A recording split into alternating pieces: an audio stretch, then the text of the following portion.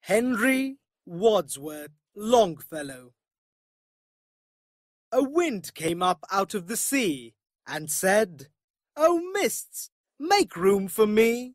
It hailed the ships and cried, Sail on, ye mariners, the night is gone, and hurried landward far away, crying, Awake, it is the day.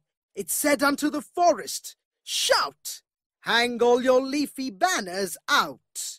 It touched the woodbird's folded wing, and said, O bird, awake and sing, and oh, o'er the farms, O chanticleer, your clarion blow, the day is near. It whispered to the fields of corn, Bow down and hail the coming morn. It shouted through the belfry tower, Awake, O bell, proclaim the hour. It crossed the churchyard with a sigh, and said, Not yet, in quiet lie.